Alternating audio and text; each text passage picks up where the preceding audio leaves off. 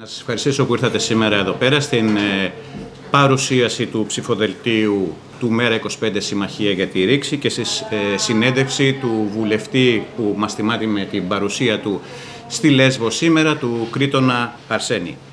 Είμαι ο Στράτος ο Γιωργούλας, είμαι σήμερα εδώ πέρα ως ε, μέλος της πολιτικής γραμματείας της Λαϊκής Ενότητας Ανυπότακτη Αριστερά και της Εκλογικής Επιτροπής που συμμετέχουμε ε, με χαρά στο ψηφοδέλτιο του ΜΕΡΑ 25, ε, Συμμαχία για τη Ρήξη. Ε, θα ήθελα να καλωσορίσω, ε, πριν παρουσιάσω το ψηφοδέλτιο, τον βουλευτή, τον Κρήτονα Αρσένη, σε μια περιοχή η οποία όπως όλοι γνωρίζετε, αλλά καλό είναι να το θυμόμαστε αυτό, σύμφωνα με την πρόσφατη επίσημη αποτίμηση όπως βγήκε μέσα από τα όργανα της Περιφέρειας Βορειογείου, σε μια περιοχή λοιπόν που έχει παρουσιάσει τα τελευταία χρόνια έναν υπερδιπλασιασμό του ποσοστού ανεργίας, σε μια μείωση μεγάλη της απασχόλησης των νέων, σε μια μείωση του πληθυσμού, ο οποίος έχει παραμείνει εδώ πέρα γυρασμένος, σε μεγάλα προβλήματα κάλυψης αναγκών υγείας που είχαν σήμερα οι υποψήφοι μας μαζί με τον Κρήτον Αρσένη τη δυνατότητα να τα δουν με επισκέψεις στο νοσοκομείο και στο κέντρο υγείας, σε χαμηλή παραγωγικότητα του πρωτογενούς τομέα, σε συρρήκνωση των μεταπητικών μονάδων, με προβληματική ενδονησιωτική μετακίνηση και αδυναμία ενδοπεριφερειακών διασυνδέσεων. Όλοι γνωρίζουμε το τι κοροϊδία είναι το μεταφορικό ισοδύναμο όταν και αν πληρώνεται. Και βέβαια σε μια περιοχή στην οποία δημιουργείται αυτή τη στιγμή που μιλάμε η μεγαλύτερη φυλακή στην Ελλάδα και μία από τις μεγαλύτερες στην Ευρώπη, στη Βάστρια. Έχουμε λοιπόν μια περιοχή που καταλαβαίνουμε ότι δεν πάει άλλο αυτές οι πολιτικές και πρέπει να αλλάξουμε πολιτική κατεύθυνση. Στο πλαίσιο αυτό λοιπόν έχω την εντύπωση και όπως είχαμε δείξει και καλό είναι και αυτό να το θυμόμαστε πριν από δύο χρόνια ο λαός της Λέσβου είναι έτοιμος να αλλάξει πολιτική κατεύθυνση. Είναι έτοιμος να ακούσει τα επιχειρήματα του ΜΕΡΑ25 Συμμαχία για τη Ρήξη, όπως ήταν έτοιμος και πριν από δύο χρόνια να θυμίσουμε και αυτή την κατάσταση, όταν στην αντίδραση της δημιουργίας της αντίστοιχης δομής που είχαμε εδώ πέρα, το ελληνικό κράτος έκανε κάτι πρωτόγνωρο για την ιστορία αυτού του κράτους, έστειλε ομάδες απόβασης, τα ΜΑΤ, να χτυπήσουν τους ανθρώπους εδώ. Δεν πρέπει αυτό να το ξεχνάμε. Να καλωσορίσουμε λοιπόν τον βουλευτή μας, τον Κρήτορα, τον Αρσένη, σε αυτή την περιοχή και να του υπενθυμίσουμε την ανάγκη, όπως και σε όλο τον κόσμο, της αλλαγής πολιτικής. Ο Κρήτονος Αρσένης, ο οποίος, να θυμίσω δύο πράγματα για αυτόν, είναι περιβαλλοντολόγος, είναι μηχανικός χωροταξίας, πολυδομίας και περιφερειακής ανάπτυξης ε, είναι βουλευτής στη Β2 Αθηνών από το 2019 με το ΜΕΡΑ25. Πιο πριν όμως ήταν και ευρωβουλευτής την περίοδο του 2009 και του 2000, μέχρι το 2014 και η επαφή του με το νομό Λέσβου και τα νησιά μας, εκτός από το γεγονός ότι είναι από αυτούς που σήκωσαν το θέμα της Βάστριας μέσα στη Βουλή, ε, είναι και επαγγελματική. Έχει σχεδιάσει και έχει διευθύνει την εκστρατεία για την αεφόρο ανάπτυξη για τα, στα νησιά του Αιγαίου, η οποία βραβεύτηκε το 2009 με το μεγάλο πανευρωπαϊκό βραβείο της Ευρωπαϊκής Επιτροπής και κάτι που θυμίζει και λίγο Λέσβο, είναι πολλάκις βραβευμένος για το λάδι που βγάζουμε, ελπίζω όμως όχι τόσο καλό όσο το τόπιο μας. Πριν δώσω το λόγο ε, ε, στον ε, Κρήτονα τον Αρσένη, θα ήθελα να κάνω μια γρήγορη αναφορά στους ε, συντρόφους συντρόφισσες που κοσμούν το ψηφοδέλτιο το τοπικό μας και είναι πραγματικά ιδιαίτερη χαρά και τιμή ε, να πω δύο λόγια για αυτούς. Ε, είναι εξ αριστερών μου ο Γιάννης ο Ζερδελής. Χρόνια βουλευτής και όχι μόνο βουλευτής, έχει προσφέρει στον τόπο και από τη θέση του Δημοτικού Συμβούλου, του Νομαρχιακού Συμβούλου και ήταν από αυτούς οι οποίοι δεν δίστασαν να, για οποιοδήποτε κόστος να βάλουν τις αξίες μπροστά. Ήταν από αυτούς που φύγανε το 2015. Είναι ένας άνθρωπος που έχει προσφέρει, όσο από τους λίγους εδώ πέρα, σε αυτόν τον τόπο, έχει αναδείξει θέματα και θα συνεχίσει με τη βοήθεια του λαού μας να, τα, να το κάνει. Ε, δίπλα μου είναι η Εύα η Μάτζαρη, ε, η οποία και αυτή ήταν υποψήφια ε, βουλευτήνα, διόρθωσέ με Εύα, το 2019 στο Ηράκλειο. Ε, έχει, ε, είναι υποψήφια διδάκτορας του ε, Πανεπιστημίου Αιγαίου. Είναι και αυτή περιβαλλοντολόγος και φυσικός. Ε, ε, την εκπονεί την διδακτορική της διατροφή στο τμήμα, του, στο τμήμα περιβάλλοντος του Πανεπιστημίου Αιγαίου και δεξιά μου είναι ο Τέρπανδρος ο Πατσελής, υποψήφιος βουλευτής και αυτός το 2014 ε, Τέρπανδρε, ε, ο οποίος ε, ήταν, ε, είναι, τώρα εργάζεται ως ιδιωτικός υπάλληλος, απόφυτος του Τμήματος Πολιτισμικής Τεχνολογίας, ε, δημιουργός του ντοκιμαντέρ Fistful of Freedom, το οποίο είχε βραβευτεί με το βραβείο κοινό, κοινού το 2017 στο 5ο Aegean ε, Docs και κάτι ιδιαίτερο και για τους ε, τρεις αγαπημένους φίλους και συντρόφους είναι η ιδιαίτερη τιμή που ήμασταν μαζί και στον Περιφερειακό Αγώνα το 2019. Ε, και γι' αυτό είναι ιδιαίτερη χαρά που είναι ε, σήμερα η παρουσίαση αυτή από εμένα προς τους αγαπημένους φίλους, τους οποίους όσο μπορούμε πρέπει να βοηθήσουμε γιατί ξέρουμε την ανιδιοτελή προσφορά που έχουν να, και να συνεχίσουν να κάνουν τα επόμενα χρόνια. Ευχαριστώ όλες και όλους και όλα που είστε εδώ πέρα ε, για αυτή τη συζήτηση πραγματικά για τα φλέγοντα ζητήματα και της Λέσβου αλλά και της Ελλάδας αυτή τη στιγμή. Και μιλάω για τα φλέγοντα ζητήματα γιατί πραγματικά αυτό το έγκλημα που πάει να γίνει στην, στη Βάστρια ε, μπορεί να, να ξεκινήσει μια φωτιά που θα φτάσει μέχρι το πλωμάρι. Ε, όταν, το, όταν φέραμε την κυβέρνηση, την εξαναγκάσαμε να έρθει στην Ολομέλεια της Βουλής ε, για να απαντήσει σε, στα αμήλικτα ερωτήματα και της νομιμότητας αλλά και, της, ε, και το τι μέλη γενέστε αν ξεκινήσει μια φωτιά από τη Βάστρια και στο πιο μεγάλο και πιο έφλεκτο δάσος του Αιγαίου ε, οι απαντήσεις της ήταν χαρακτηριστικές ότι α η Βάστρια ε, ναι μεν επειδή ήταν, είναι παράνομο να γίνει σε αυτή την έκταση και σε αυτό μέγεθος θα διοδοτηθεί τώρα για μικρό το μέγεθος και μετά θα γίνει πάνω σήκωμα με κοντέινερ πάνω στο κοντέινερ. Αυτά είναι όλα διαθέσιμα ε, με το βίντεο της συζήτησης στη Βουλή.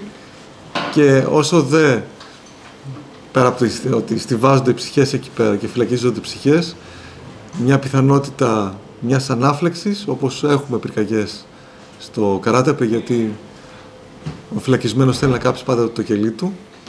Είναι νομοτελειακό μια πυρκαγιά μπορεί να φτάσει πραγματικά μέχρι το πλωμάρι, απειλώντας τη ζωή όχι μόνο των ανθρώπων που είναι στην Βάστρια, των ανθρώπων που μπαίνουν στους γύρω οικισμούς και ένα μεγάλο κομμάτι της αγροτικής παραγωγής αυτού του τόπου. Είναι ένα έγκλημα το οποίο εμείς κρούμε το κόδωνα του κινδύνου τώρα που είναι έγκαιρα, όπως το κρούαμε πριν τα τέμπη.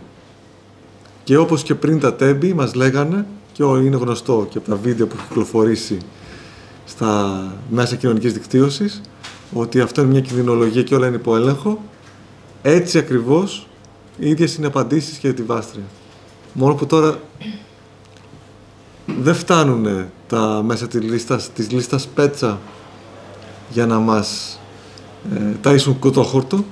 Έχουν περάσει τα τέμπη και ξέρουμε όλοι τι είναι αυτό που πάει να γίνει και όταν οι προειδοποίησεις έρχονται με βάση ποιες εμπειρίες προειδοποιούμε.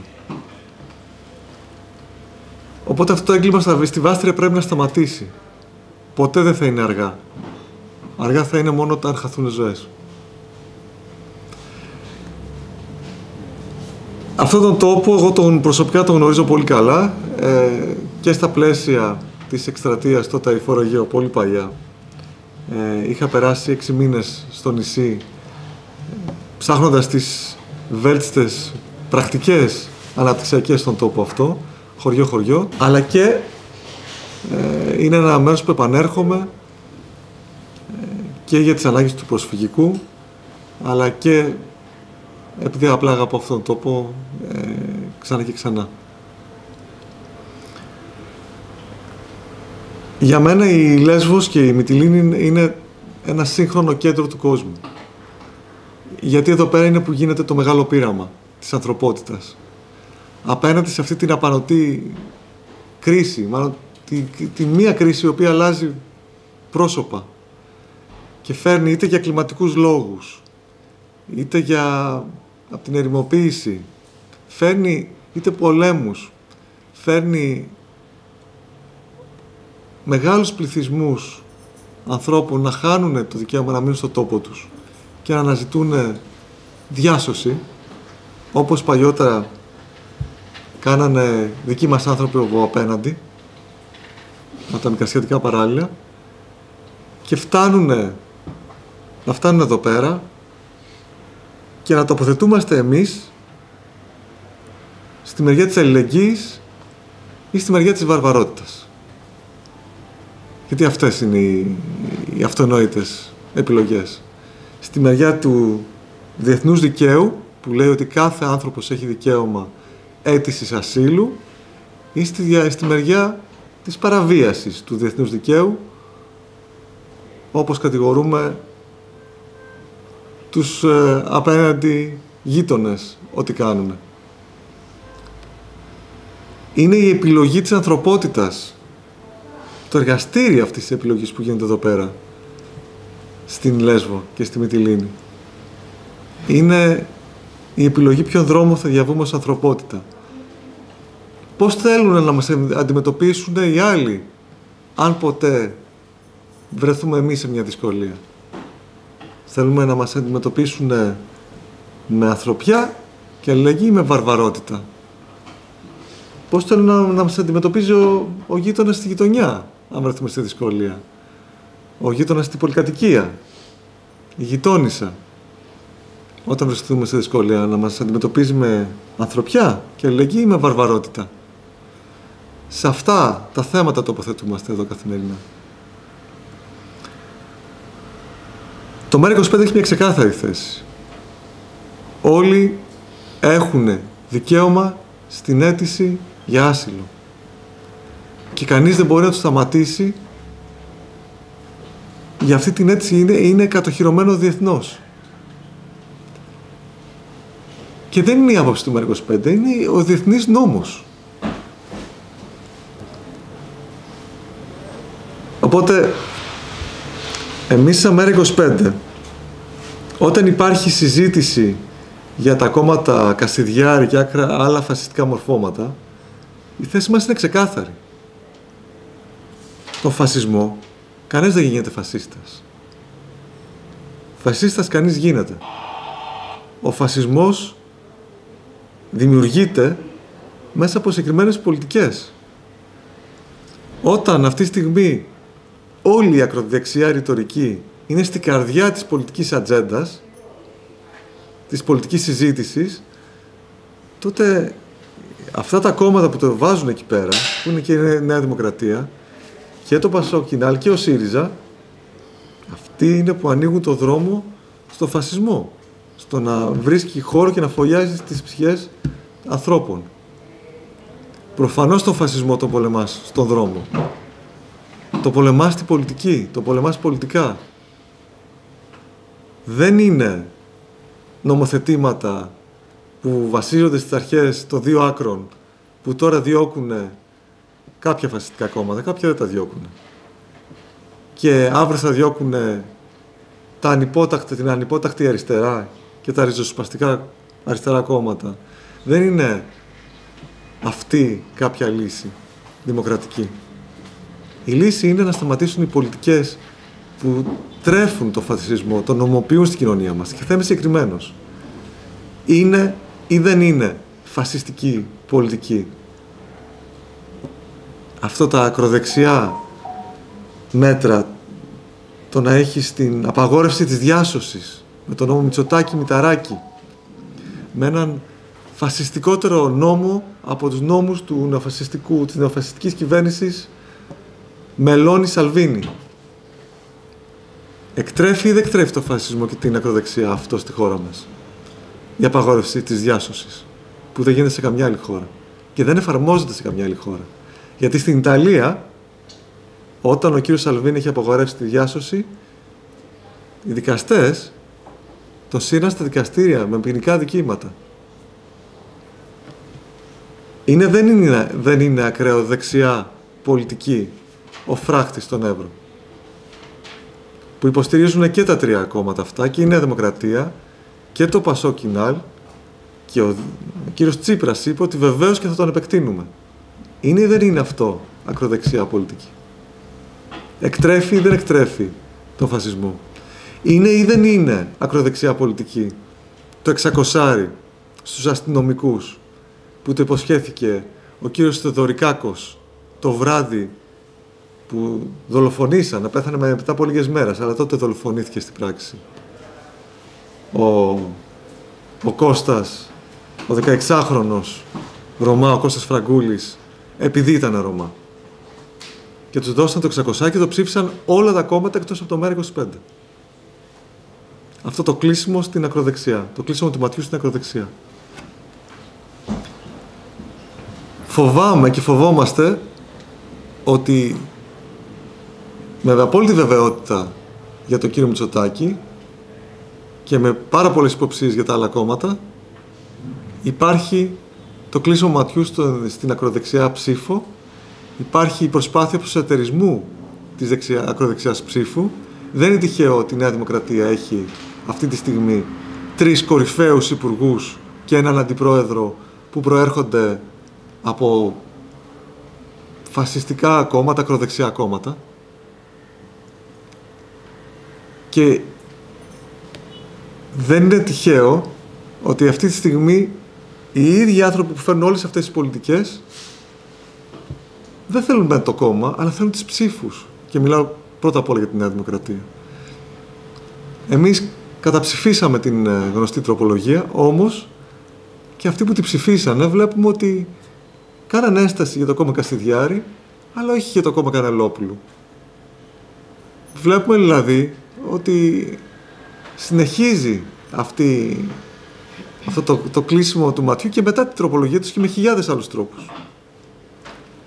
Θέλω να πω όμως και σε άλλα θέματα επικαιρότητας τα οποία χρησιμοποιούνται για να στρέψουν την προσοχή του, των πολιτών μακριά από τα τέμπη, μακριά από όλα τα φλέγοντα προβλήματα που είναι οι πληστηριασμοί και εξώσεις 700.000 ε, κατοικιών, είναι η λιλασία της υγείας, όπου μας φτάνουν σε ένα αμερικάνικο καθεστώς του όποιος έχει χρήματα ζει και όποιος δεν έχει, όπως είπε ο κύριος Πέτσας, όποιος δεν προσαρμόζεται πεθαίνει. Και είναι βέβαια η διάλυση της παιδείας, είναι όλα αυτά που βιώνουμε. Η ακραία φτωχοποίηση σε πολλά μέτωπα. Δεχτήκαμε μια ολομέτωπη επίθεση ως μέρα 25 για το σχέδιο Δήμητρα. Θέλω να ξεκαθαρίσω εδώ πέρα ότι το σχέδιο Δήμητρα είναι κάτι το οποίο είναι οι βασικές μας προτάσεις από το 19. Το καταθέσαμε σαν σχέδιο νόμου στη Βουλή το Δεκέμβριο του 20. Εγώ προσωπικά το εισηγήθηκα από το βήμα της Βουλής, μπροστά σε όλα τα κόμματα. Δεν το θυμηθήκαμε τώρα, γιατί δεν σταματήσαμε ποτέ να μιλάμε για αυτό. Τι άλλαξε για το σχέδιο Δήμητρα; Άλλαξε ότι ξαφνικά νομίσανε ότι μας πιάσανε στα πράσα οι δημοσιογράφοι που είχαν τόσο καιρό εντολή από τα αφεντικά τους τους ολιγάρχες να αποσιωπούν κάθε πολιτική μας. Και ξαφνικά ανακαλύψαν το σχέδιο Δήμητρα, το οποίο βέβαια ήταν εκεί πέρα από το 19. Τι είναι το σχέδιο Δήμητρα; Είναι μια πολιτική ε, αντιευρωπαϊκή. Είναι μια ε, πολιτική η οποία είναι ενάντια, θα, θέλει να κλείσει τις τράπεζες, θέλει να μας βγάλει από το ευρώ, θέλει να κάνει κρυπτονομίσματα και παράλληλα νομίσματα. Καμία σχέση με όλα αυτά. Δεν είναι κρυπτονόμισμα, δεν είναι παράλληλο νόμισμα, δεν κλείνει τις τράπεζες, δεν μας βγάζει από το ευρώ το σχέδιο Δήμητρα. Είναι μια πλατφόρμα, όπως οι δεκάδες πλατφόρμες που έκανε αυτό το διάστημα ο κ. Μητσοτάκης με απευθείας αναθέσεις. Είναι μια πλατφόρμα ή για να πούμε κάτι απλό, είναι μια μικρή επέκταση μιας πλατφόρμας που όλοι γνωρίζετε του Taxis.net. Ένα με απειροελάχιστο κόστος μια επέκταση αυτής της πλατφόρμας ώστε να μας επιτρέπει όλοι όσοι έχουμε αφημί σε αυτή τη χώρα, είτε είμαστε εταιρείες, είτε φυσικά πρόσωπα, είτε πολίτες, να μπορούμε να συναλλασσόμαστε μεταξύ μας χωρίς κανένα χαράτσι. Αυτή τη στιγμή όταν πας να πάρεις ένα μπουκάλι νερό από το περίπτερο και πληρώσεις με κάρτα, κάποια από τις ε, συστημικές τράπεζες παίρνουν το 3%. Αντίστοιχα, όταν πας να πάρεις ένα πακέτο ρύζι από το ψιλικατζίδικο της γειτονιάς ή να αγοράσεις πάνες για το παιδί σου από το σούπερ μάρκετ της γειτονιάς. Όλα αυτά αθρίζονται σε 2 με 2,5 δις το χρόνο χαράτσια από τις τράπεζες χωρίς κανένα λόγο. Και λέω ότι είναι χωρίς κανένα λόγο. Γιατί αυτό το κλικ δεν κοστίζει στις τράπεζες τίποτα. Μηδέν. Και μας το χρεώνουν 2,5 δις. Και αυτές οι τράπεζες, οι οποίες ενώ βγαίνουν ο κύριος Γεωργιάδης και οι υπόλοιποι υπουργοί της κυβέρνησης και λένε τα δάνεια είναι για να ξεπληρώνονται. Και το λένε για εμάς. Ενώ έχουμε, μιλάμε για την κυβέρνηση και το κόμμα της Νέας Δημοκρατίας ή και του Πασό Κινάλ, στους οποίους χαρίζουν και διακανονίζουν έτσι όπως δεν κάνουν σε κανένα πολίτη τα δάνειά τους. Τους υπουργούς που έχουμε πιάσει τα πράσινα, τους κάνουν διακονισμούς σκανδαλωδός ή και τους βουλευτές. Αυτοί οι άνθρωποι προφανώς τους όταν οι τράπεζες σε πανικό μην καταλάβει ο κόσμος ότι το σχέδιο Δήμητρα είναι τόσο αυτονόητο, τόσο υπέρ των πολλών, που θα έπρεπε να το εφαρμόσουν όλες οι κυβερνήσεις. Ε, αυτοί οι άνθρωποι προφανώς σφυρίζουν σε αυτούς που εξυπηρετούν οι τράπεζες, δηλαδή σε αυτούς στα κόμματα που εξυπηρετούν, φάτε τους, γιατί αν περάσει αυτό στον κόσμο χαθήκαμε. Θα χάσουμε τα χαράτσια μας. Αυτό είναι το σχέδιο Δήμητρα. Αυτό που βάζει τέλος στα χαράτσια των τραπεζών, υπέρ των πολιτών, εθελοντικά για όποιον θέλει να συμμετέχει, με συναλλαγές σε ευρώ, εντός του ευρώ, εντός, χωρίς να, να κλείνει τις τράπεζες, χωρίς να είναι παράλληλο νόμισμα, αλλά ναι, κάνει. Ε, σταματάει την εσχοροκέρδεια των τραπεζών. Συγγνώμη που τολμήσαμε να καταθέσουμε σχέδια νόμου εναντίον της εσκορκέρδιας και υπέρ των πολλών. Αλλά θα συνεχίσουμε να το κάνουμε. Όπως ακόμα πιο σκληρό για τις τράπεζες είναι το σχέδιο Οδυσσέας. Το σχέδιο Οδυσσέας έρχεται να κόψει μια συστηματική πολιτική και από τα τρία κόμματα που νομοθετούν τους ηλεκτρονικούς πληστηριασμούς και τα funds προκειμένου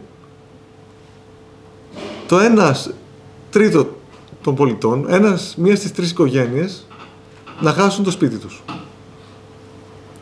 Μία στις τρεις οικογένειες αυτή τη στιγμή κινδυνεύει να βρεθεί χωρίς το σπίτι τους. Το σπίτι της. Πολλά από αυτά τα ξέρετε. Ξέρετε ότι με 3, 4, 5% της αξίας του δανείου μπορούν να το αγοράσουν αυτά τα δάνεια οι τράπεζες, τα funds από τις τράπεζες, με δάνεια από τις τράπεζες, όπως είδαμε στην περίπτωση Πάτσι, και στη συνέχεια να βγάλουν κέρδη 20, 30, 40 και πολλαπλάσια τους τις 100, ε, συγγνώμη, φορές, φορές πάνω γιατί τα κέρδη είναι της τάξης των εκατοντάδων, πολλών εκατοντάδων της εκατό. Έχουμε δηλαδή εδώ πέρα όχι μόνο μια σκροκέρδια. Εδώ πέρα πλέον η σκροκέρδια είναι το, η λεπτομέρεια. Έχουμε μια πολιτική όπου διαλύει το κοινωνικό ιστό, διαλύει την οικογένεια. Δεν ξέρω, είμαστε εδώ πέρα καμιά τριανταριά άνθρωποι είμαι σίγουρος ότι στις οικογένειες εδώ πέρα έχουμε τουλάχιστον δύο στις τρεις κόκκινα δάνεια. Τι λέει το ΜΕΡΑ25. Κάτι τόσο ριζοσπαστικό που ακόμα και η, Αμερική το έχει εφαρμόσει. Δηλαδή κάτι τόσο απλό και αυτονόητο. Η Αμερική μετά το κράχ το 1933 εφάρμοσε ένα απλό νόμο. Ένα πάγωμα των ε, εξώσεων και των πληστηριασμών μέχρι να αποκατασταθεί η οικονομική κατάσταση των ανθρώπων. Το σχέδιο Οδυσσέας είναι η δημιουργία ενός δημόσιου φορέα που παίρνει πάνω του τα κόκκινα δάνεια, παγώνει εξώσεις και πληστηριασμούς μέχρι να αποκατασταθεί η κατάσταση οικονομική των ανθρώπων στο επίπεδο που ήταν όταν λάβανε το δάνειο. Και έχω ένα ερώτημα προς όλες και όλους που μας ακούνε. Δεν είναι αυτονόητο ότι όταν παίρνεις ένα δάνειο με ένα δεδομένο μισθό και έρχεται η πολιτεία με τα μνημόνια και σου κόβει το μισθό κατά 30, 40, 50, 60% δεν είναι δεδομένο ότι δεν μπορείς να αποπληρώσεις αυτό το δάνειο δεν είναι δικιά σου ευθύνη αυτό και προφανώς πρέπει να παγώσει η αποπληρωμή μέχρι να αποκατασταθεί η οικονομική σου κατάσταση. Δεν είναι κοινός τόπος αυτός. Αν δεν είναι αυτός, ποιος μπορεί να είναι; Αυτό είναι το σχέδιο Οδυσσέας. Πολύ απλά αυτό είναι το σχέδιο Οδυσσέας. Και τους κάνει μεγάλη ζημιά. Μελετήσαμε πάρα πολύ αναλυτικά το σχέδιο του ΣΥΡΙΖΑ. Και είδαμε ότι περιλαμβάνει πάγωμα των πληστηριασμών για τρεις και μόνο μήνες. Και στη συνέχεια διακανονισμό χρεών σε δύο κατηγορίες, κάτω το 15 ετών για αυτούς που έχουν κάποια χρήματα και μέχρι 25 χρόνια για αυτούς που δεν έχουν χρήματα.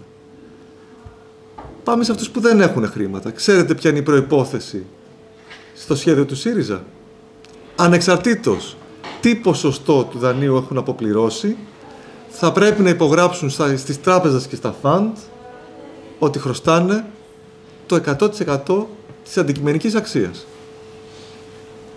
Αυτό είναι μια πρόταση που δεν μπορώ να φανταστώ ότι έχει έρθει από πουθενά αλλού παρά μόνο από τις τράπεζες και τα φαντ τα ίδια.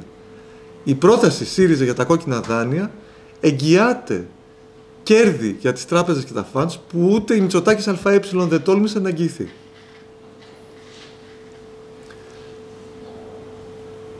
Καταλαβαίνετε λοιπόν ότι εδώ πέρα έχουμε μια πολιτική η οποία έρχεται και από τα τρία κόμματα με διαφορετικό πακετάρισμα. Αλλού είναι πιο ομή και αλλού είναι πιο ευγενική, αλλά στο διατάφτα είναι η ίδια. Και πάμε στη ΔΕΗ. Το ΜΕΡΑ25 ζητάει την επανακρατικοποίηση όλων, επανεθνικοποίηση όλων των δημόσιων υπηρεσιών, νερό, ρεύμα, συγκοινωνίες, αεροδρόμια, λιμάνια και ούτω καθεξής. Έρχεται και ο ΣΥΡΙΖΑ και λέει ότι και εμείς θέλουμε τη ΔΕΗ με δέλτα κεφαλαίο. Δεν μιλάω για τη Νέα Δημοκρατία, η οποία πούλησε τα πάντα εν μέσω ενεργειακής κρίσης. Πάω για το ΣΥΡΙΖΑ, ο οποίος προσκαλεί το ΜΕΡΑ και σε μια κατά τα άλλα προοδευτική κυβέρνηση. Στην κυβέρνηση. Ή μάλλον, για να είμαστε ειλικρινείς, προσκαλεί την ψήφο ανοχής του ΜΕΡΑ 25 και του ΚΚΕ σε μια κυβέρνηση μεταξύ ΣΥΡΙΖΑ και ΠΑΣΟΚ.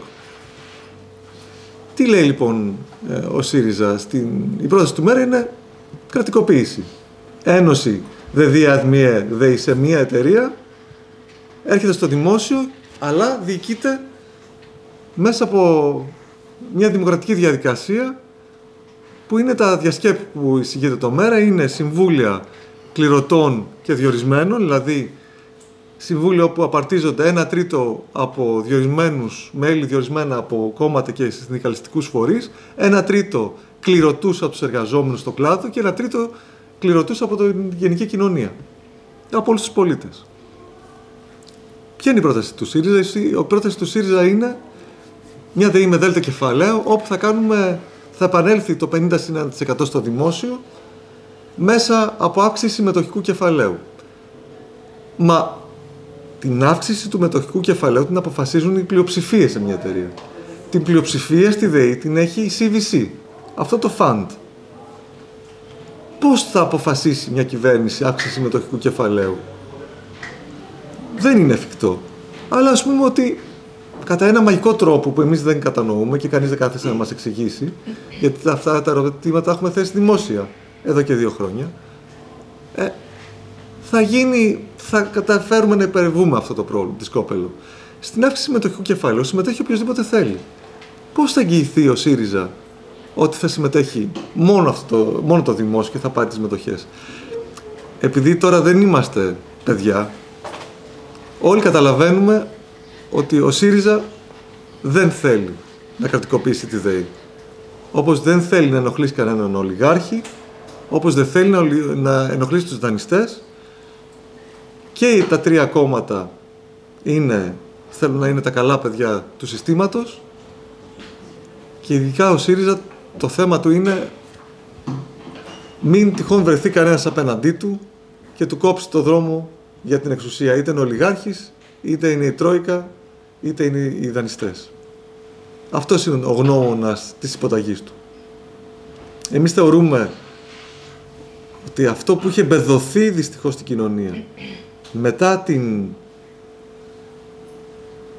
τη βεβήλωση της λαϊκής εντολής από το ΣΥΡΙΖΑ του δημοψηφίσματος όπου με κλειστές τις τράπεζες το 62% των πολιτών πήγε και ψήφισε όχι στον εκβιασμό, όχι στο νέο μνημόνιο και ήρθε ο Αλέξης ο Τσίπρας και έκανε το όχι ναι και όλοι οι πολίτες, 850.000 κόσμος έφυγε από την, που είχε ψηφίσει στις εκλογές του Ιανουαρίου του 2015 τον Οκτώβριο του 2015 δεν πήγε να ψηφίσει γιατί ο κόσμος πίστεψε ότι ό,τι και να ψηφίζεις με την ψήφα σου δεν αλλάζει τις πολιτικές. Όλοι τα ίδια θα εφαρμόσουν. Εμείς φύγαμε από το ΣΥΡΙΖΑ, φύγαμε ε, από αυτή την συνθηκολόγηση και θεωρούμε ότι προφανώς και δεν, δεν, δεν είναι μονόδρομος τα μνημόνια, προφανώς και η ρήξη είναι ο μόνος μονόδρομος, αν θέλουμε να έχουμε τα παιδιά μας και αύριο σε αυτό το τόπο, σε επιχειρήσεις να ανήκουν σε όλη την κοινωνία και όχι σε πέντε νοματέους ολιγάρχες, αν θέλουμε αυτή η χώρα να έχει τη στοιχειώδη προοπτική. Και είμαστε εδώ πέρα παρουσιαζόμαστε σαν μέρα 25 συμμαχία για τη ρήξη, διεκδικώντας, και είμαστε εδώ και τέσσερα χρόνια στη Βουλή, διεκδικώντας το αυτονόητο, το δικαίωμα όλων με τη ψήφο μας να αλλάζουμε την πολιτική. Και καλούμε σε συστράτευση όλους και όλους τους πολίτες ακριβώς γιατί πιστεύουμε ότι η ψήφος στην ανυπότακτη αριστερά είναι αυτή που μπορεί να φέρει την ανατροπή των πολιτικών τους, των πολιτικών εξυπηρέτησης των λίγων σε βάρος των πολλών.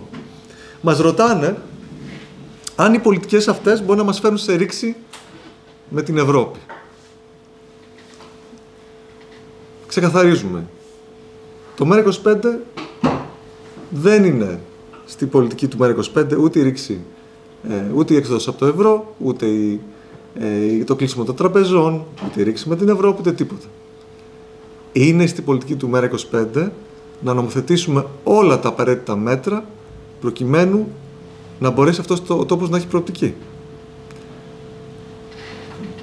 Και το ερώτημα είναι το εξής. Τι προκαλεί τη ρήξη; Το ΜΕΡΑ25 έχει αυτή τη στιγμή μια θέση. Μείωση του ΦΠΑ στο 15% δεν είναι αυτονόητο το να μειώσουμε το ΦΠΑ σε αυτή τη γονατισμένη οικονομία και χώρα; Γιατί οι υπόλοιπες χώρες της Ευρωπαϊκής Ένωσης να έχουν πολύ χαμηλότερο ΦΠΑ την ίδια στιγμή που η οικονομία τους αντέχει; Δεν θεωρώ ότι καμία οικονομία αντέχει τέτοιους ταξικούς φόρους, αλλά τέλος πάντων η δικιά μας σίγουρα δεν τους αντέχει. Δεν είναι αυτό το δικαίωμά μας. Ποια ευρωπαϊκή πολιτική παραβιάζουμε μειώντας το ΦΠΑ; Είναι πολιτική του ΜΕΡΑ25, συμμαχία για τη ρήξη, η μείωση του φόρου για τους πολλούς στο 10%. Μα αυτός ο φόρος είναι ίδιος και για όλες τις γειτονικές χώρες εντός και εκτός Ευρώπης. Για ποιο λόγο θα έρθει κάποιος σε ρήξη μαζί μας, επειδή θα μειώσουμε το φόρο στο 10%. Επειδή θα μειώσουμε, θα αυξήσουμε το φόρο για τους πλούσιους στο 30%. Για ποιο λόγο να έρθει κανείς σε ρήξη, δεν είναι αυτονόητες πολιτικές αυτές. Και θέλω να κάνω ένα ερώτημα στα άλλα κόμματα. Και στη Νέα Δημοκρατία, και στο ΣΥΡΙΖΑ, και στο Πασοκινάλ, και σε όποιον άλλον θέλει να τοποθετηθεί. Αν λόγω της συνεχόμενης κρίσης. Έρθει αύριο η Τρόικα ή η Ευρωπαϊκή Επιτροπή και μας πει θέλουμε να αυξήσετε το ΦΠΑ από το 24 στο 28, στο 30, στο 32, στο 34, στο 36. Εμείς θα πούμε ναι και σε αυτό. Σε τι που μπορεί να μας προτείνουν θα πούμε όχι. Γιατί αν μας προτείνουν κάτι και πούμε όχι, αυτό είναι ρήξη. Αν πούμε ναι σε οτιδήποτε μας ζητήσουν, αυτό δεν είναι ρήξη. Είναι ξεκάθαρο ότι η οικονομική κατάσταση στη χώρα δεν πηγαίνει καλά. Αυτή τη στιγμή ο κύριος Μητσοτάκης έχει χρεώσει τη χώρα άλλα 80 δις. Μαζί με τις, με τις ονομαστικές εγγύησεις του σχέδιου Ηρακλή, πάνω από 120 αν βάλουμε τις πραγματικές. ετοιμάζουν, ήδη μας γυρνάνε στα πρωτογενή πλεονάσματα και ετοιμάζουν μέτρα. Ποια θα είναι αυτά τα μέτρα και ζητάμε από τα κόμματα να τοποθετηθούν όλα αυτά που διεκδικούν την κυβέρνηση ποια είναι η κόκκινη γραμμή σε οτιδήποτε μας ζητήσουν οι δανειστές. Γιατί σε ρήξη βρισκόμαστε αυτή τη στιγμή. βρισκόμαστε σε ρήξη των κυβερνήσεων και των τριών κομμάτων με τους πολλούς και την κοινωνία. Το ΜΕΡΑ25, η Συμμαχία για τη Ρήξη, δεσμευόμαστε να έρθουμε σε ρήξη με τους λίγους για τους πολλούς.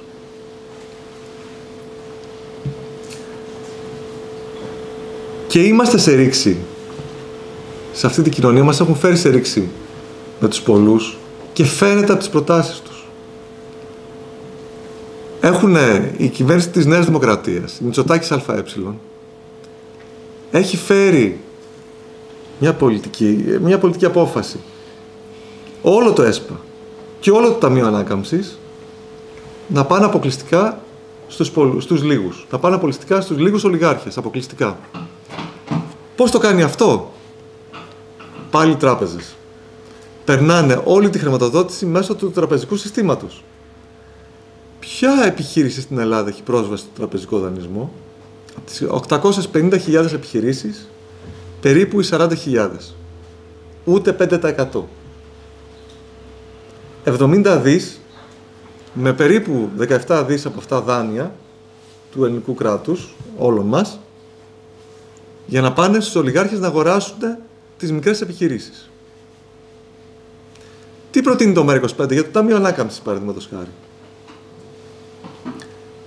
Επειδή μας μιλάνε και για απεξάρτηση από ε, το φυσικό αέριο κτλ. κτλ. Μας μιλάνε για απεξάρτηση από το φυσικό αέριο αυτοί που χρηματοδοτούν αυτή τη στιγμή μια μονάδα καύσης φυσικού αερίου σε κάθε ολιγάρχη. Έχουμε ε, εργοστάσιο καύσης αερίου στο Κοπελούζο, στο Μυτιλινέο, στον Προκοπίου, ε, στην Τέρνα, ε, στην, στο Λάτσι και λυπάμαι ξεχνάω κάποιο ολιγάρχη. Αυτά χρηματοδοτούνται τώρα. 300 εκατομμύρια συνολικά. Εμείς προτείνουμε ένα πραγματικό σύστημα απεξάρτησης. Τα, τα, τα χρήματα του Ταμείου Ανάκαμψης να δοθούν για ένα εξοικονομό κατοίκων για όλα τα νοικοκυριά, ξεκινώντας από τους φτωχότερους. Με παράλληλη κατάσταση φωτοβολταϊκών στις ταράτσες και τις στέγες. Τι σημαίνει αυτό; Σημαίνει ότι όλοι οι μπογιατζίδες, οι αλουμινάδες, οι ηλεκτρολόγοι, όλοι αυτοί οι άνθρωποι και ακόμα πολλά επαγγέλματα θα έχουν, θα κινητοποιηθούν οικονομικά. Τα υλικά που χρησιμοποιούνται για την, για την εξοικονόμηση, για την εξυγχρονισμό των διαμερισμάτων και των πολυκατοικιών και των σπιτιών, είναι τα λίγα που παράγει η οικονομία μας. Τα νοικοκυριά θα κερδίζουν, θα συμπληρώνουν το εισόδημά τους που είναι σε ελεύθερη πτώση όλα αυτά τα χρόνια με την παραγωγή ρέματος στις ταράτσες θα έχουμε δηλαδή μια πραγματική οικονομική ανάκαμψη και βέβαια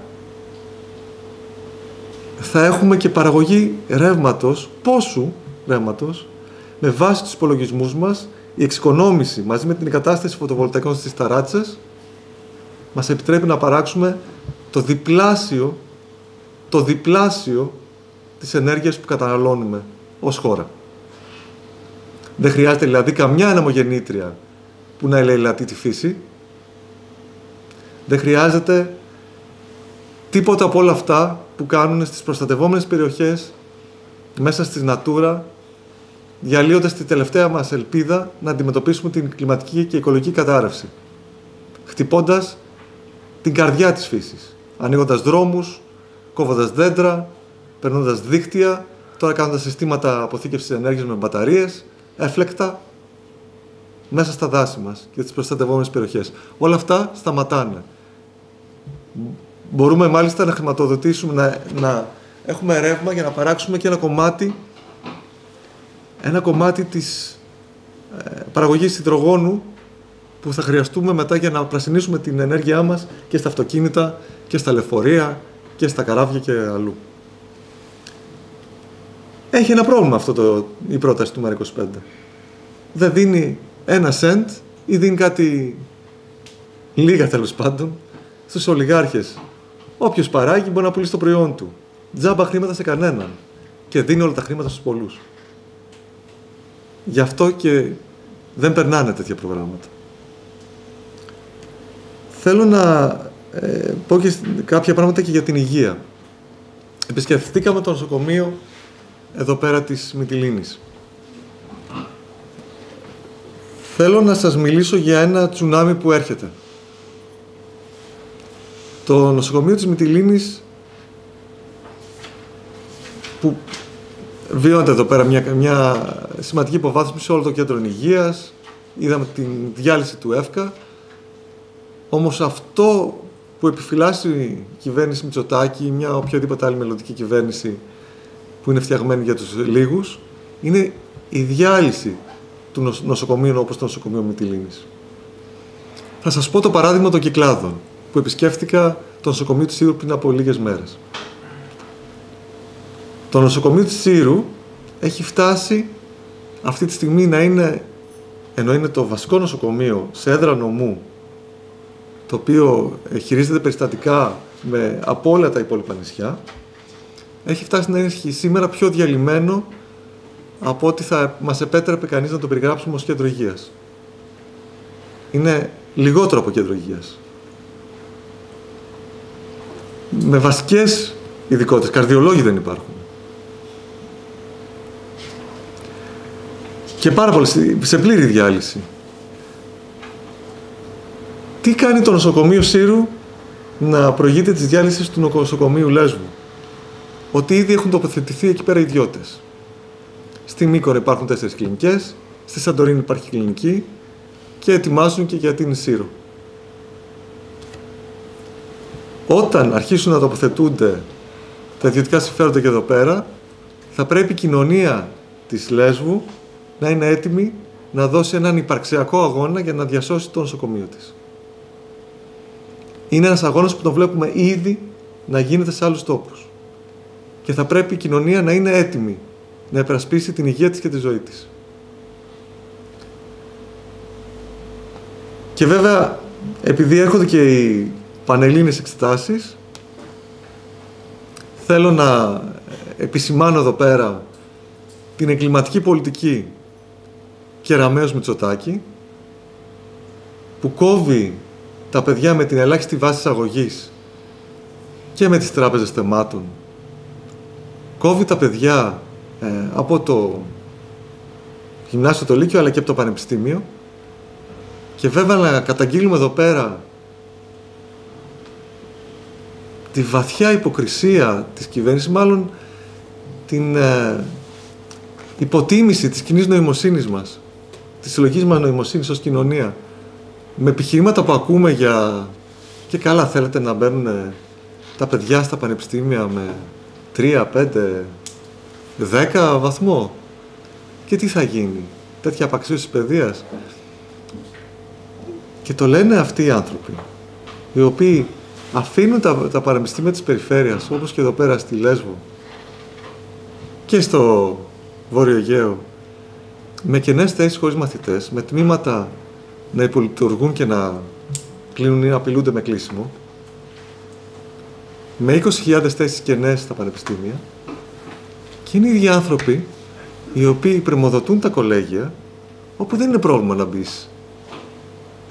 Και με μηδέν, αρκεί να πληρώσεις 10.000. Εκεί πέρα δεν μετράει ο βαθμός σου. Εκεί πέρα μετράει το πορτοφόλι σου. Εκεί δεν είναι σημαντικό ο βαθμός. Και ανοίγουν τις θέσεις για τους αποφύτους κολεγίων στο δημόσιο. Ξεκίνησε ο ΣΥΡΙΖΑ την πολιτική, την υλοποιεί, την υλοποιεί και την ολοκληρώνει η κυρία Κυραμέως. Οπότε, η πολιτική τους είναι ξεκάθαρη. Στέλνουν τα παιδιά στα κολέγια όσοι έχουν, όσο ο νεοπάδας τους έχει πορτοφόλι και για τους υπόλοιπους ή δεν σπουδάζουν ή στα ΙΕΚ τα οποία έχουν φροντίσει να διαλύσουν με υποστελέχος και υποχρηματοδότηση. Αυτά τα, τα ΙΕΚ, τα οποία έχουν αυξηθεί εγγραφές κατά 67% μετά την εφαρμογή της ελάχιστης βάσης αγωγής, αυτά τα ΙΕΚ,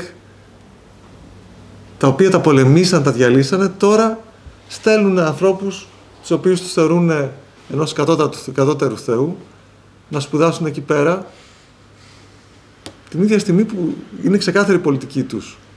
Όλα στους ιδιώτες. Στη παιδεία, στην υγεία, με τη CVC που έχει αγοράσει τη ΔΕΗ να έχει αυτή τη στιγμή αγοράσει και τις περισσότερες ιδιωτικές κλινικές και νοσοκομεία και να τοποθετείται για την εξαγορά του δημοσίου συστήματος και σε όλα έχουμε τα τρία κόμματα μετά τα τέμπη να μας λένε ότι θα συνεχίσουν να μιλάνε με τους Ιταλούς και η Νέα Δημοκρατία και το Πασοκινάλ και ο ΣΥΡΙΖΑ να μας λένε ότι δεν θα κάνουν επανακρατικοποίηση των τρένων και δεν θα ενώσουν τον ΟΣΕ ώστε να μπορεί να λειτουργήσει με διαφάνεια και με έλεγχο. Ακόμα και τώρα που όλη η κοινωνία ξέρει πλέον ότι οι ιδιωτικοποίηση σκοτώνουν. Ακόμα και τώρα. Το ΜΕΡΑ25 οπότε έχει μια ξεκάθαρη θέση. Οι εκλογές δεν είναι, και ιδιαίτερα στην απλή αναλογική, δεν είναι φτιαγμένες και δεν κρίνονται από το θα βγάλουν ισχυρή ή ανίσχυρη κυβέρνηση. Οι εκλογές κρίνονται από το αν μπορεί ο πολίτης να, τον, να εκπροσωπείται από αυτόν που επιλέγει, αυτήν που επιλέγει, αυτό που επιλέγει στη Βουλή. Αυτή είναι η δημοκρατία. Αυτή είναι η απλή αναλογική. Ότι δεν υπάρχει κλεμμένη ψήφος από τα μικρά στα μεγάλα κόμματα. Σε αυτές τις εκλογές ψηφίζουμε αυτόν που επιλέγουμε να μας εκπροσωπήσει για να ελέγχει οποιονδήποτε κυβερνά. Αυτή είναι η ψήφος που ζητάει το ΜΕΡΑ25. Το ΜΕΡΑ25 είμαστε η Συμμαχία για τη Ρήξη, είμαστε έτοιμοι να κυβερνήσουμε. Έχουμε κυβερνητικό πρόγραμμα με νομοσχέδια που κατέθηκαν όλο αυτό το διάστημα στη Βουλή που δεν περιμέναμε προεκλογικά να γίνει. Τα καταθέσαμε το 19, το 20, το 21, το 22 και ως Συμμαχία για τη Ρήξη ερχόμαστε τώρα και ζητάμε να εφαρμοστούν με τη ψήφο των πολιτών. Δεν, είναι, δεν έχουμε αυταπάτες. Ξέρουμε ότι δεν πρόκειται να είμαστε κυβέρνηση μετά τις εκλογές. Ξέρουμε όμως ότι η αριστερά, η ανυπότακτη αριστερά, με βάση τις ρεαλιστικές πολιτικές που κατεβάζουμε και προτείνουμε, κάποια μέρα θα έχει την ευκαιρία ξανά να κυβερνήσει. Δεν θα είναι οι επόμενες, θα είναι οι μεθεπόμενες, παραμεθεπόμενες. Κάποια μέρα θα δημιουργηθεί ξανά πλειοψηφικό ρεύμα για να ανατρέψουμε αυτές τις πολιτικές. Γι' αυτό το ρεύμα παλεύουμε. Ώστε όλοι οι πολίτες που πίστεψαν ότι με την ψήφο τους δεν αλλάζουν τα πράγματα, να γυρίσουν ξανά στην κάλπη. Ξανά να ελπίσουν, ξανά να πιστέψουν σε αυτή τη δύναμη για ανατροπή. Καλούμε λοιπόν σε συστράτευση και σε συμπόρευση όλους τους πολίτες που απογοητεύτηκαν. Έχουμε δείξει δείγματα γραφής. Οι πολιτικές μας είναι εκεί πέρα, κατευθυμένες, σαν νομοσχέδιο, όχι σαν σχέδιο επιχάρτου. Τους καλούμε σε συστράτευση για να σταματήσουμε αυτή τη λαιλασία απέναντι στις ζωές μας. Για να βάλουμε τα κέρδη τους κάτω από τη ζωή και να σταματήσουμε τις πολιτικές τους που βάζουν τα κέρδη τους πάνω από τις ζωές μας, πάνω από τη φύση, πάνω από τον αέρα που αναπνέουμε, την ελευθερία μας τελικά. Θεωρούμε ότι ανεξαρτήτως τι λέει ο ΣΥΡΙΖΑ, Ε, δεν έχει πει κανένα όχι σε κανένα ολιγάρχη. Ε, είναι χαρακτηριστικό ότι είδαμε και για το ελληνικό τον κύριο Λάτση να ε, ευχαριστεί το ΣΥΡΙΖΑ, το, τη Νέα Δημοκρατία και το ΠΑΣΟΚ. Ε, έχουν πει ναι στον κύριο Μελισανίδη ε, στα, για τις δεξαμενές τα λοιπάσματα στην, ε, στο, στη Τραπεζόνα, στο, στο, στο Κερατσίνι. Ε, έχουν και οι τρεις υποστηρίζουν τις εξορίξεις υδρογοναθράκων, δίνοντας την ουσία γη και είδο σε κάποιες πολυεθνικές και, στους, ε, και στον κύριο Λάτση πάλι με τα ΕΛΠΕ ή έχουμε την Energean και άλλες τέτοιες εταιρείες. Δεν υπάρχει κάποιο οικονομικό συμφέρον στο οποίο να έχει πει όχι ο ΣΥΡΙΖΑ. Ας μας το παρουσιάσει όμως αν έχει πει κάτι. Δηλαδή ας μας πει ότι μου ζήτησαν αυτό και το είπα όχι. Δεν υπάρχει κάτι συγκεκριμένο τέτοιο. Οπότε θεωρούμε στην πράξη ότι η πολιτική τους είναι η εξυπηρέτηση των συμφερόντων και ναι, αυτό χαρακτηρίζει ένα κόμμα το οποίο είναι υποταγμένο στα συμφέροντα. Έτσι προέρχεται η περιγραφή αυτή, όχι με κάποια. Ε, δεν είναι αυθαίρετη, εκ των πεπραγμένων. Το τίμημα το οποίο ήταν για να δοθεί για την εξαγόραση της Τρενοσέ ήταν υπερβολικά μικρό σε σχέση με το αντικείμενο το οποίο αγόραζαν. Δηλαδή η προσφορά των αγοραστών ήταν πάρα πολύ μικρή τότε. Αυτό το τίμημα υποτιμήθηκε πάρα πολύ όταν ο ΣΥΡΙΖΑ έγινε κυβέρνηση και πουλήθηκε επί ΣΥΡΙΖΑ η Τρενοσέ. Δεν πουλήθηκε επί Νέας Δημοκρατίας. Ο Σάρτρ έλεγε το εξής: Είσαι αυτά που κάνεις. Αυτά που κάνει ο ΣΥΡΙΖΑ μπορεί να αυτό προσδιορίζεται όπως θέλει. Να λέει ότι είναι αριστεροί, σοσιαλδημοκράτες κτλ. Εμείς βλέπουμε τι κάνει. Και σε αυτά που κάνει είμαστε αντίθετοι.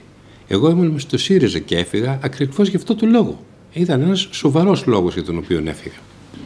Ο στόχος εδώ για τη Λέσβο ποιος είναι; Ο στόχος εδώ πέρα για τη Λέσβο είναι καταρχήν να υπάρχει μια μεγάλη συμμετοχή των πολιτών. Ε, όπως γνωρίζουμε όλοι και το είδαμε πολύ χαρακτηριστικά στα τέμπη, θέλανε να στρέψουν όλη την αντίδραση στην αποχή. Ο στόχος μας και για τη Λέσβο και για όλη την Ελλάδα είναι να έρθουν οι πολίτες και ιδίως οι νέοι άνθρωποι και όλοι αυτοί οι άνθρωποι που απογοητεύτηκαν μετά το δημοψήφισμα να ξαναγυρίσουν να ψηφίσουν και νομίζω ότι το ΜΕΡΑ25 μπορεί να γίνει μια μεγάλη έκπληξη ε, και για τη Λέσβο και παντού. Δηλαδή θεωρώ ότι ε, υπάρχουν ε, και δημοσκοπικά σενάρια τα οποία ε, μπορούν να φέρουν μεγάλες ανατροπές. Σε κάθε περίπτωση όμως, ο στόχος για τη Λέσβο και παντού είναι να, έχουμε, να, ψηφίσουν, να ψηφίσουν οι πολίτες αυτό που τους εκφράζει και το ΜΕΡΑ25 ερχόμαστε να πούμε ότι είμαστε μια ειλικρινής, έτοιμη επιλογή για τους πολλούς.